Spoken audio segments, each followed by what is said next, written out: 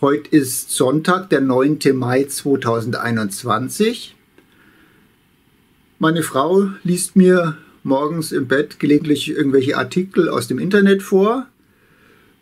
Oft von Tichys Einblick oder von Vince Ebert. Das ist ein Kabarettist, der ist 52, ist Physiker und er bringt es wissenschaftlich auf den Punkt und sehr amüsant und sehr drastisch letztlich. Und ich lese jetzt den Text von gestern vor. Ich glaube, der macht das fast täglich und ich verlinke das auch, dann kann, kann jeder sich das mal an, angucken. Also ein kurzer Text, ich finde ihn so klasse.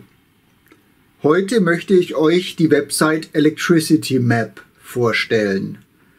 Auf dieser Seite wird in Echtzeit dargestellt, wie viel Strom jedes europäische Land in andere Länder exportiert bzw. wie viel es von seinen Nachbarländern bekommt.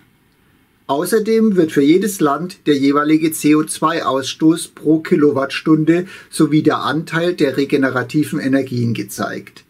Klickt man auf Deutschland, so sieht man, dass wir derzeit ca. 10% unseres Stroms aus den noch verbliebenen Kernkraftwerken produzieren. 23 Prozent kommen von unseren Kohlekraftwerken.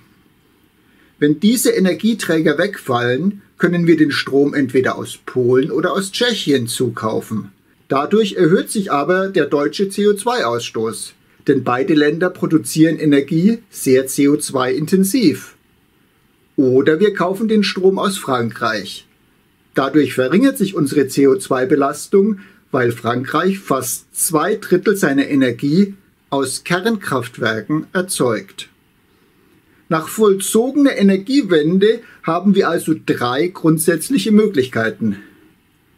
CO2-Erhöhung durch Kohlestrom aus Polen und Tschechien, CO2-Reduktion durch Atomstrom aus Frankreich oder dritte Möglichkeit, Verzicht auf Stromimporte, dafür regelmäßige Abschaltung des Stromnetzes bei Dunkelflauten.